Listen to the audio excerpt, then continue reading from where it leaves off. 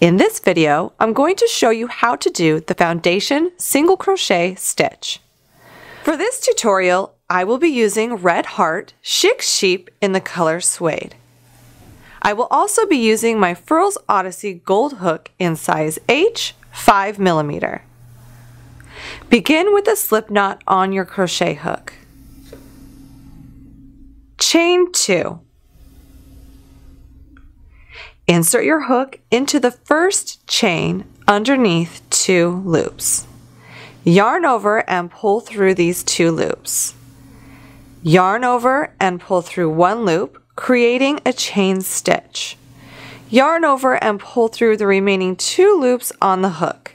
This completes the first foundation single crochet stitch.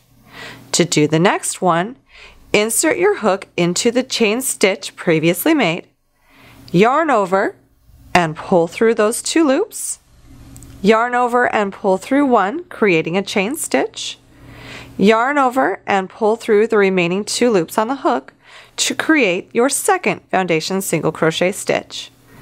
We will repeat these steps until we have the number of foundation single crochet stitches needed.